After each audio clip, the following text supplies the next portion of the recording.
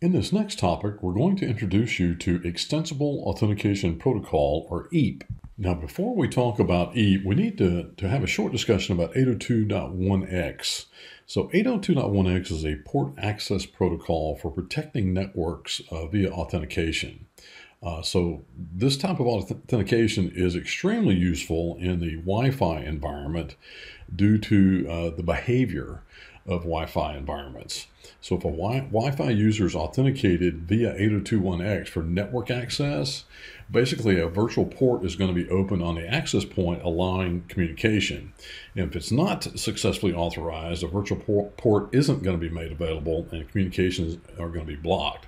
So there's three basic pieces to 802.1x authentication. There's something called a supplicant, and this is a software client that, that runs on a Wi-Fi uh, workstation uh, Wi-Fi enabled workstation. There's the authenticator, which is the Wi-Fi access point, and then there's the authentication server, which is an authentication database. And, and usually this is uh, like Radius or TACACS Plus or something along that line. Now, I, I told you that to tell you this. Uh, extensible authentication protocol or EAP is used to pass the, the authentication information between the supplicant, i.e., the, the uh, workstation, and the authentication server. And so EAP actually handles and defines the authentication process. So the access point is going to act as, as an authenticator, uh, and, and only a proxy is going to allow the supplicant and the authentication server to communicate. So, so now let's let's talk a little about EAP. On this first slide, we have a depiction of what a typical EAP communication uh, request and response might look like coming from a supplicant over on the far left hand side. Uh, and that would be the uh, wireless enabled workstation. And so, again, uh, we talked a little bit about 802.1x. You see that at the top of the screen, and then radius over to the far right. So, uh, basically, we're going to receive an EAP identity request, and that's going to come from the WILSI. Uh, so the uh, wireless uh, client is going to attempt to, to attach to the AP and then attempt to uh, go in and exchange information. And before it goes any deeper than that, then this particular uh, communication overview would, would occur. So the EAP identity request comes in from WILSI. There's an EAP identity response that's sent back from the supplicant. Uh, and then also the that is forwarded uh, for identity purposes to the AAA server. So the authentication, authorization, and account, accounting server uh, receives this information. And so the EAP request, EAP type is going to be sent back. Uh, and that's going to also be sent. So they're agreeing on the, the EAP type. And so EAP request EAP type, and then there's a response for that. And so they're agreeing on the EAP type. So the identity's been been verified. Then we're going to say, well, what which EAP are you going to use? Because there's several different flavors or options for that. And then uh, that that is going to respond. And then basically the conversation that we're going to authenticate that conversation and uh, on each end. And if we do that appropriately, then what's going to happen is we're going to have EAP success. So we've uh, authenticated both the supplicant uh, and the uh, server end of things, and uh, that supplicant is then allowed to uh, transfer and exchange information with folks internally. Now, at this point, you're probably saying, well, gee, that kind of sounded generic, and there's a reason for that. Uh, EAP doesn't specify, you know, what type of authentication you're going to use uh, that's in there. And so there are some 40 different types of EAP that you can can use. And so it just basically simply defines the authentication steps and the headers required for that. So EAP's going to basically separate the authentication itself from the authentication process. So what EAP is doing is helping to define the authentication process, but not necessarily the underlying authentication or, or authentications, because there could be multiple depending on how you ha have things set up. So EAP attempts to keep it as simple as possible, and in support of that, we're going to take a look at the EAP frame in this next slide. So if you look at this, in the first byte, we specify, is this a request? Is this a response to a request? Is this going to be a success or a failure when they're trying to coordinate from the supplicant to the server end of things? And so uh, the next one uh, one byte field is basically a, a, match to match the request response. So if I'm saying I have an EAP type, then I expect the other side to support that EAP type. uh, as well. And so, does it match? There's a one byte field to indicate that.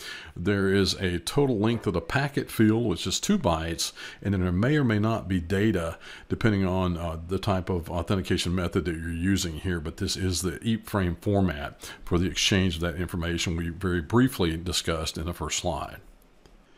Now, there's a couple of additional technical tidbits I want to pass on before we move on to the next slide. And, and when I talk about EAP, I don't necessarily imply that we, we must be using 802.1x, but the two protocols work very well in combination together. So so there's a reason why we talk about EAP, we talk about 802.1x, and 802.1x basically keeping that port, that virtual port closed until the authentication process has done what it needs to do. So that's the first little thing I want to tell you. The second little thing I mentioned earlier was that the EAP flavors, the EAP types, if you will, must match on both the supplicant and the server ends.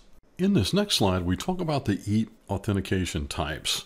So as we look at this slide, you'll see the EAP types has a little bit of a description that's there, and it's organized left to right. And the two most popular EAP types that are in use today are EAP TLS and PEAP, P-E-A-P. Uh, and go figure, the uh, the most popular, what's coming up to be the most popular, EAP TLS, is also provides excellent Wi-Fi security, but is also the most difficult to configure and to try to manage. So with EAP TLS, it, it's very secure. Uh, it requires a client certificate to be installed on on the workstation. And so you've got uh, both the workstation and the server covered as well in this. Now in PEAP the protected extensible authentication protocol it's secure but only requires a certificate to be installed on the server side of the house. So that makes it a little bit more manageable from a uh, PKI uh, standpoint. Now EAP fast is great if you can't enforce like strong passwords and things you know with the, all of the hieroglyphics and it has to be, you know, X amount of characters. Uh, but in, you don't have to, to deploy uh, certificates for that, for authentication. So EAP Fast is good for that. EAP uh, TTLS um, basically uh, uses a tunnel to get around having to deploy certificates for clients. And then there's Leap, and Leap has been around for, for quite some time. It, previously, it was like Cisco proprietary, uh, but it's been licensed for other other vendors, and it does have a uh, strong password policy that should be enforced when you are using Leap, which would be an indication in my book that perhaps uh, Leap is not the strongest of uh, the different EAP uh, types that you could use. And so, if you look at that, sure enough, over on the far right hand side here, you know, mutual authentication. Yes, I'm going to mu- mutually authenticate the client uh, the supplicant and the server. Uh, does it use a certificate? No. You know, is a server certificate required? No. So no, no. So you know, again, uh, you'll give an indication there. It says you know medium Wi-Fi security kind of thing. And in this day and age, I think you need more than that.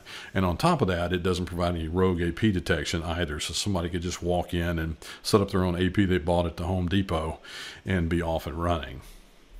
So, really, what I want you to get out of this is like, well, you might be asking yourself, well, which one is best? And my favorite engineering answer is it depends. It depends on how much time and effort and expertise you have in order to implement uh, one of these EAP types. Again, with EAP T- TLS being uh, the most difficult, but also offering the highest security level. And so any approach to security should basically be layers of an onion.